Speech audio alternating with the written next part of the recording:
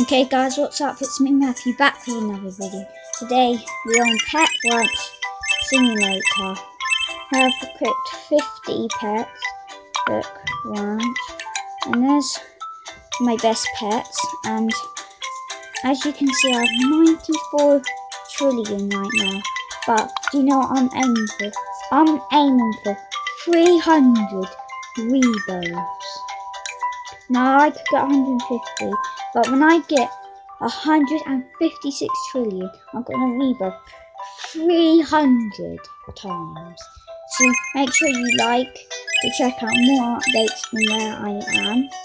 And apart from that, guys, I'll see you in the next video.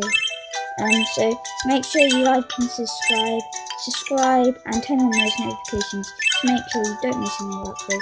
And I will update you before it's happening there, so but bye for now.